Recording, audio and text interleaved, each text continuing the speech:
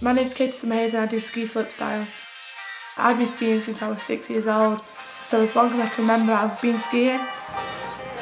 On the team there's like six or seven of us that started at Ski Village, so it's really cool how we're at the World Championships, maybe doing the Olympics representing Great Britain all together. Sheffield Ski Village was massive, even the generation before us, most of them was from Sheffield as well.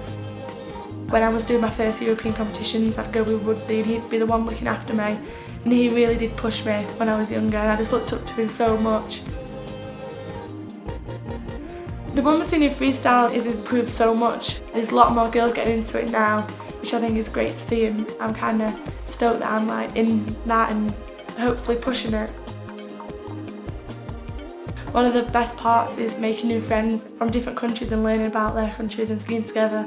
Me and Tiril, we, we did our first X Games together when we were 15 years old, so we've always been at them competitions. Everyone in skiing just does it because they love it, like it's so much fun. You just vibe off each other so much. If someone learns a new trick then you get so stoked and you want to try something new. Slopestyle and halfpipe have got the chance to go to the Olympics. I don't even know what to think, that is just so mind blowing.